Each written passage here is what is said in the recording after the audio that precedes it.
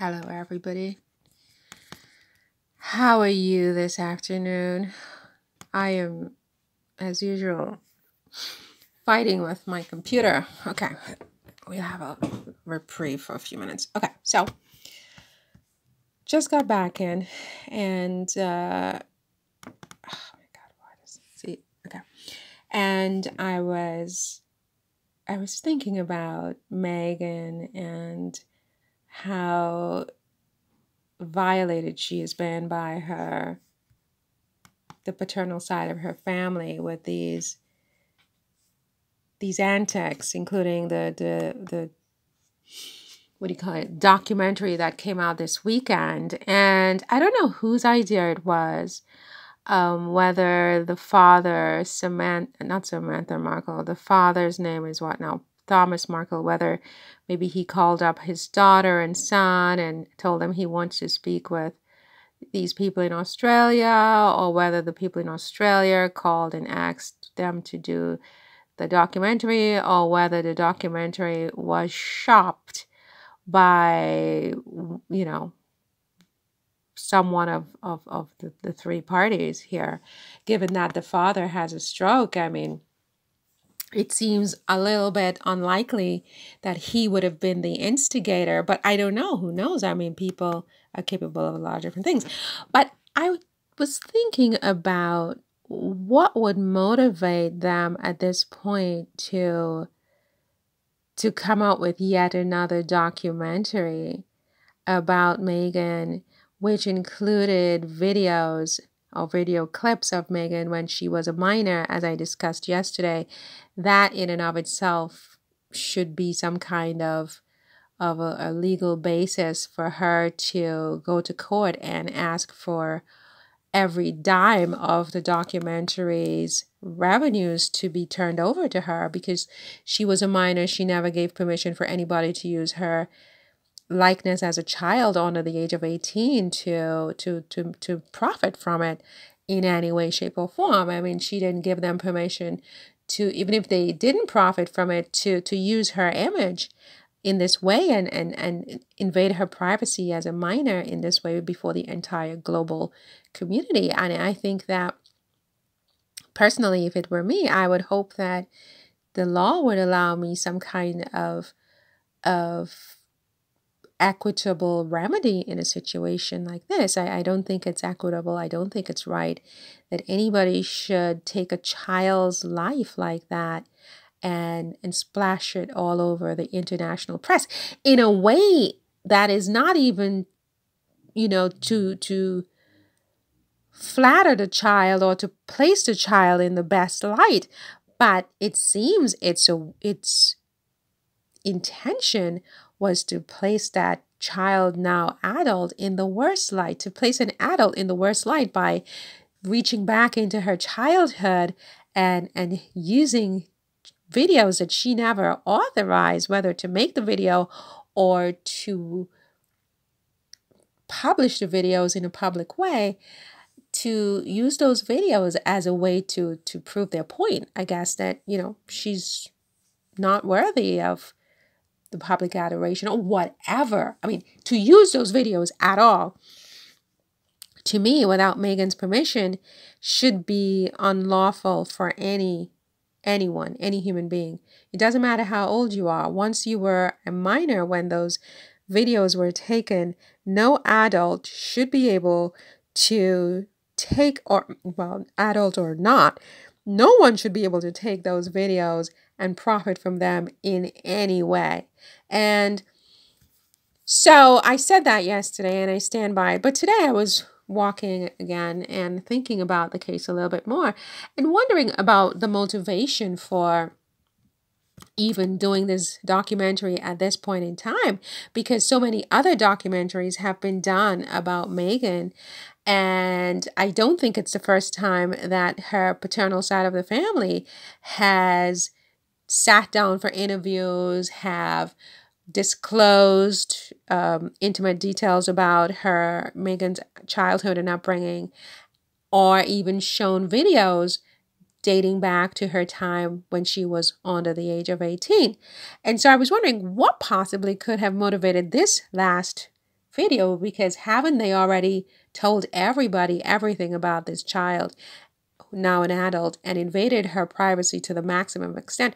What more is there left to say? And what would be their motivation at this point? And then I realized that I had read a number of articles that Samantha Markle faces ruin if she has to pay Meghan's legal fees if her case is dismissed. And indeed, her case was dismissed a, a month ago, I believe, where the judge basically said that she did not have a case. She didn't have a cause of action against her sister for defamation. However, the judge allowed her to amend her complaint to allege God only knows what. I have no idea what it is at this point. However, if she loses that new complaint, which has been recently filed, and I believe Meghan's team has once again moved for dismissal. If indeed the case is dismissed again, I think she would be out of ammunition for this particular lawsuit and she would be facing having to pay Meghan's legal, Meghan's legal fees. And apparently, according to this British paper, it may be a tabloid, so take it with a grain of salt. I have no idea how accurate it is. But those legal fees could be in the millions of dollars. It says here Meghan Markle's half sister faces paying millions of dollars in legal fees if she loses a defamation case against her Duchess of Sussex sister, according to an ex US judge. So that might be a reason that they came up with this new documentary. I don't know. I mean, it, it's a theory. It's a theory. I don't know for a fact what motivated her to bring up yet another documentary, or even if she was the mastermind behind the documentary. As I said, it could have been her father, Thomas Markle, who, from his his apparently deathbed with a stroke, called her up and said, let's do this documentary because I need to clear some stuff up. It could be, I mean, he could have asked her to set the whole thing up and so on and so forth, whatever. It could have been her brother who suggested it. It could have been the TV station in Australia who suggested it. But it also could have been her who suggested it. And if it was her who suggested it, if, if, if, I have no idea who suggested it, as I said, I wonder whether this has to do with the legal fees that she could be facing. And so it would mean that if that's true, if that's the, her motivation, she's using Meghan to pay Meghan's legal fees. That is, she brings these cases against Meghan, they get dismissed, she gets sued for attorney's fees, she then brings out documentaries so that in fact Meghan is paying Meghan's own legal fees, if you know what I mean. If that's the case, it would seem to me that Meghan definitely has to put a stop to this because the defamation case will just be the first one. Somebody like this will come up with other theories of how to sue Meghan to keep bringing her into court and when it's if she loses then she just brings out new documentaries right and new angles to old stories I think Meghan really, really needs to put a stop to this here. She needs to go into court and seek an injunction stopping them from airing any of her childhood home videos in any of their documentaries. Number one, that's an injunction. And number two, she needs damages for those publications of her home videos that have already occurred. And and and she she possibly needs punitive damages because a parent who does this, frankly, should be punished as far as I'm concerned. I mean, you don't do that to your child where you you air your child's private childhood life in this way. I mean, this is just, it's unconscionable. And I think that there should be punitive damages assessed here.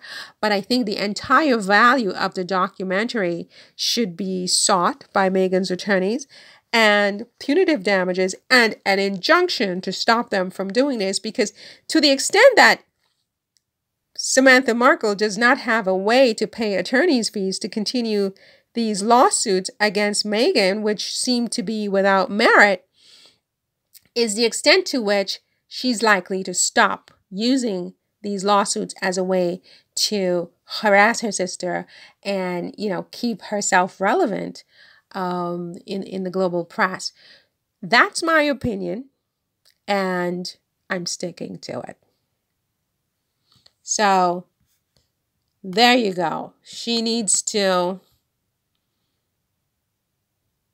seek an injunction and damages because otherwise, there are going to be more documentaries to pay for lawsuits that will get more than likely get dismissed you know because of, of a lack of merit you know i don't know if that made any sense but you know i i fear that samantha markle will continue to bring lawsuits against meghan markle and whether or not those lawsuits are successful, I don't think she cares. The issue is to stay relevant in the global press for Samantha and basically harass Meghan. Right? This is my viewpoint. That's my opinion. That's what's happening here. And as far as funding these lawsuits, she'll just come out with a new documentary. Right? And these documentaries are going to feature home videos of Meghan, which Meghan never authorized anybody to use in this capacity, but they will just keep doing these documentaries and keep getting paid for them. Meghan needs an injunction to stop them from ever using any of her images when she was under the age of 18 in any documentary. And she needs damages for those documentaries which have already been made.